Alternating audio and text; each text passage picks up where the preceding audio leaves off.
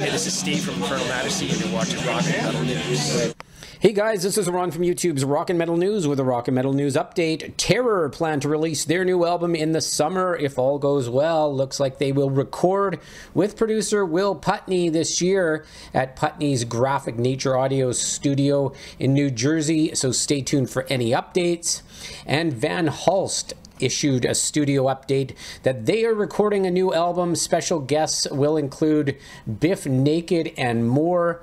Uh, they're currently in, in the studio with famed producer Arnold Lanni, uh, who worked with Our Lady Peace, Finger 11, and Simple Plan, among others. So uh, you can check out their links in the description of the video, and uh, you can check out the song Save Me on YouTube in the link in the description. This is Ron from YouTube's Rock and Metal News. Thanks for tuning in.